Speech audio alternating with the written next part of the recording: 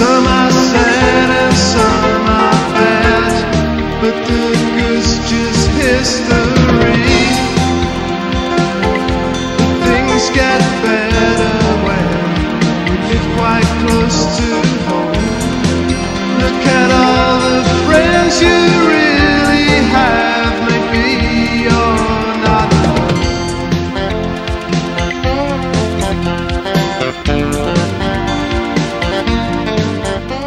Ray, we're thinking about you here at the Montclair Art Museum and we're celebrating art in bloom today. Great to see you.